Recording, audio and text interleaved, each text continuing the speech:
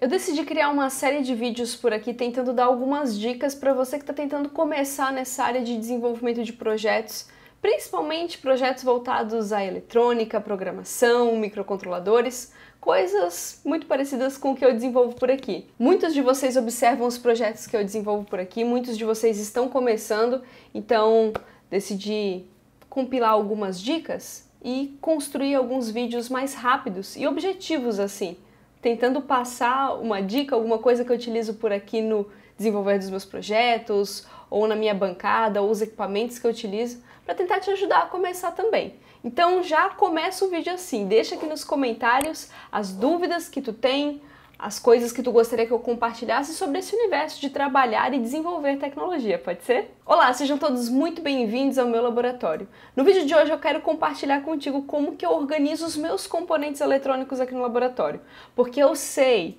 que tu também deve passar o mesmo perrengue por aí.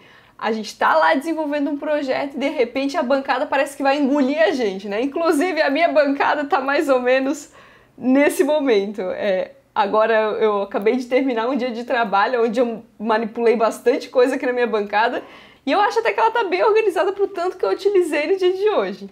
Então, quero passar uma dica aqui, como que eu organizo os meus componentes eletrônicos, o que, que eu coloco em cada caixinha, que caixinhas são essas, eu vou mostrar para vocês um pouquinho da bancada, porque eu acho que tem, tem algumas diquinhas ali de como armazenar corretamente esses componentes, que eu tenho certeza que vai te ajudar.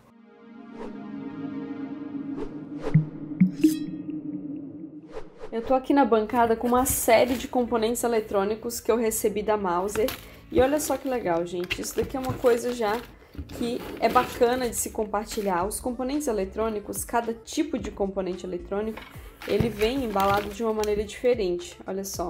Existem alguns componentes que eles vêm em uma seção de fita. E tem componentes eletrônicos que eles vêm em uma seção já embaladinha no rolo. Esse rolo aqui facilita bastante quando a gente vai inserir esses componentes diretamente numa máquina, né, numa pick and place, ou já em um processo de fabricação mais industrial. Por aqui, eu não utilizo um processo de fabricação industrial para fazer as montagens dos projetos que a gente utiliza aqui, né, que a gente desenvolve em conjunto. Então, eu preciso armazenar esses componentes de uma forma que fique fácil, né, de acessar eles, de pegar e de fazer as nossas pequenas produções. Os projetos que a gente desenvolve por aqui, no canal, na Twitch, no TikTok, esses projetos que a gente faz em conjunto, muitas vezes eu preciso ter esses componentes acessíveis, né, próximos da minha bancada, mas não vai ser um, eu não vou construir várias unidades desse mesmo projeto. Às vezes eu faço uma montagem a mais para presentear alguém, mas não é uma produção super industrial. Então eu tenho uma técnicazinha aqui de algumas formas que eu utilizo para organizar esses componentes aqui na minha bancada e para a gente conseguir né, eliminar, por exemplo, esse volume grandão aqui de componentes. Vou pegar aqui na minha bancada mesmo, porque eu já deixo aqui bem acessível para mim. Esses aqui são os componentes eletrônicos que eu mais utilizo, aqueles que estão de fato ativos em algum projeto. Olha só como é que eu organizo. Eu utilizo essas caixinhas, que são caixinhas tipo caixinhas de remédio, sabe? Vocês vão conseguir encontrar fácil na internet aí para comprar. E eu guardo todos os meus componentes aqui. Olha só aqui os resistores SMD, ó. Olha que bonitinho que ficam. Eu também faço já aqui uma legendinha, né, pra que eu possa acessar eles com facilidade. E eu também organizei aqui eles próximos de acordo com uma lógica que só eu entendo, assim, que é mais ou menos a proximidade que eles estão de cada projeto. Então, dessa forma aqui, quando eu vou fazer a montagem, ó, por exemplo, de uma plaquinha aqui, eu deixo a plaquinha aqui e eu consigo ir abrindo, ó, cada uma dessas desses compartimentos, pegando o componente, colocando e depois eu já fecho aqui. Assim eles ficam bem protegidos. A única coisa aqui que eu já posso dar assim de dica para vocês que não funciona muito bem é fazer o transporte desses componentes nesse tipo de caixinha, porque alguns componentes eletrônicos, principalmente os SMDs assim, ó, eles são muito pequenininhos, eles acabam escapando aqui pelos buraquinhos, ó, dessa caixinha. E até se vocês encontrarem uma caixinha que veda melhor, eu vou ficar bem feliz. Pode deixar aqui nos comentários que eu vou com certeza eu vou dar uma olhadinha, assim, porque é algo que eu gosto bastante de evoluir. Então eu tenho duas dessas caixinhas, ó. Essa daqui tá um pouquinho mais vazia, porque eu tenho que começar a colocar os componentes dessa daqui. Então, os componentes que estão mais ativos, assim que eles chegam, né? Então, eu faço a encomenda com uma certa frequência, principalmente desses componentes que estão aqui, porque são os que eu mais utilizo. Assim que eles chegam, eu já coloco aqui dentro dessas caixinhas e já fica organizado dessa forma. Os componentes eletrônicos que eu não utilizo com tanta frequência assim, mas que volte meia eu preciso, ou que eles já foram ativos em algum projeto, eu deixo eles dentro da própria embalagem da Mauser, porque assim eu não perco né, qualquer característica do componente. Se depois eu precisar recomprar ele novamente, eu vou ter muito mais facilidade.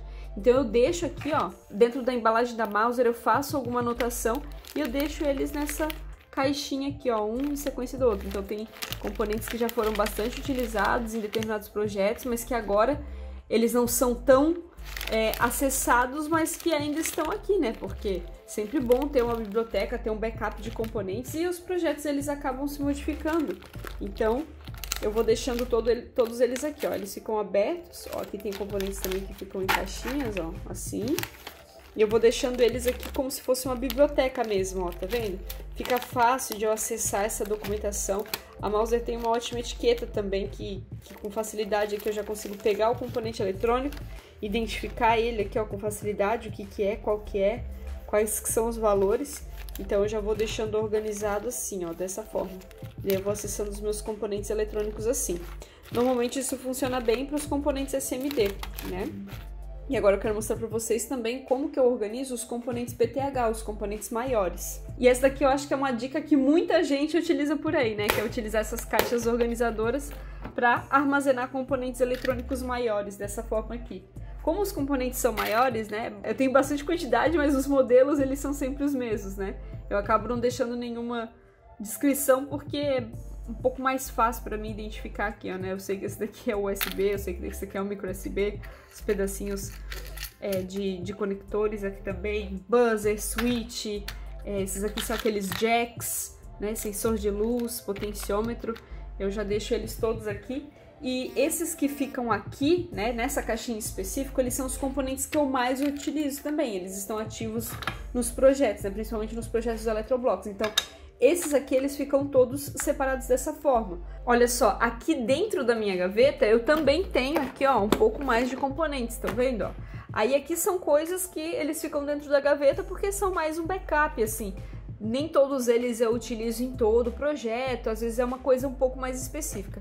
Então eu tenho duas caixas aqui, ó, com esses componentes, ó, que daí eles ficam guardadinhos aqui dentro da gaveta. É fácil de organizar dessa forma, porque uma coisa que traz bagunça é componente eletrônico e cabinho, né, gente? Isso aí às vezes faz uma bagunça na bancada, nas gavetas, tudo. E já aproveitando que eu falei bastante dos componentes da Mauser aqui, eu queria te apresentar a Mauser. A Mauser é uma distribuidora global de componentes eletrônicos e semicondutores com maior e melhor portfólio de fabricantes. É na Mauser onde eu faço a pesquisa dos componentes eletrônicos que eu preciso para desenvolver os meus projetos. Consigo adquirir até aqueles componentes bem específicos que muitas vezes a gente não consegue encontrar no mercado mercado nacional de jeito nenhum, é na Mauser onde eu consigo esses componentes super especiais assim para o meu desenvolvimento. Além disso, na Mauser eu consigo fazer comparação de preço entre diversos fabricantes e a Mauser conta com muitas ferramentas para mim poder desenvolver meu projeto. Então eu consigo identificar o componente eletrônico, consigo já baixar o ECAD desse componente para que eu possa inserir ele na minha placa de circuito impresso,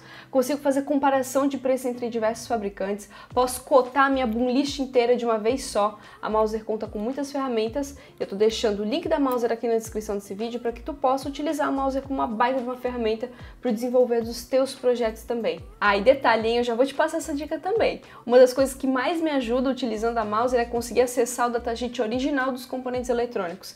E eu até já baixei o aplicativo da Mauser no meu celular, que daí eu consigo pesquisar o componente eletrônico e assim eu consigo acessar esse datasheet de qualquer lugar, não importa onde eu estou desenvolvendo o projeto, eu já consigo as informações que eu preciso do componente e eu tenho certeza que é o datasheet correto, que é de fato daquele componente, né? Bom, se vocês gostaram das dicas de organização aqui dos meus componentes, me deixa aqui nos comentários, me dá um feedback e se tu organiza de alguma outra forma ou utiliza algum outro material, também não deixa de compartilhar comigo, né? Eu tô aqui fazendo esses vídeos para tentar te ajudar, tentar te dar uma dica especial, mas se tu tiver alguma diquinha que eu não passei por aqui ou alguma coisinha que tu utiliza, deixa aqui nos comentários, eu vou gostar de saber, porque eu posso também aprender e colocar no meu laboratório por aqui também.